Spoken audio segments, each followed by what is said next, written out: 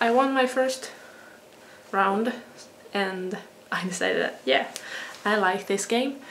But, but then I lost because my sister and her boyfriend sort of teamed up without teaming up, but they teamed up and I was left alone and I didn't stand a chance against their cards because they sort of, yeah, well, they teamed up, you know, do the math.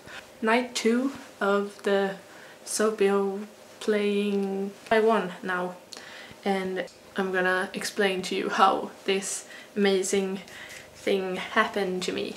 So I had a hundred points because I had these. My sister's boyfriend had just used party mode so it was in the top of the discard pile and my sister used a points card against her boyfriend and uh, I had five cards and my sister had uh, got a card that so that allowed her to choose a card from both my my hand and my my sister's boyfriend and she took Four Seasons card away from me. I played the Element of Earth which allowed me to look at my opponent's cards and I picked out Spelling Bee and Cowboy Builder. And then it finally became my turn.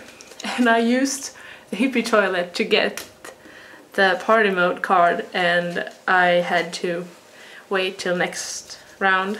And I uh, used the party mode card put this one at my sister's boyfriend because it felt like a good thing to do and I put these three 1250 points onto my 100 points and I won and it we didn't have to use all the cards and that was ah it was pure skills let me tell you.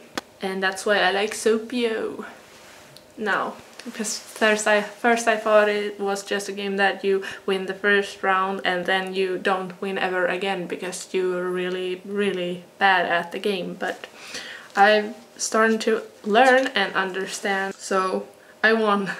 I am happy that I did. I'm proud of myself and I'm going to play more Sopio. I didn't waste money when I bought this so it feels good. It feels really good. Payback and revenge is sweet!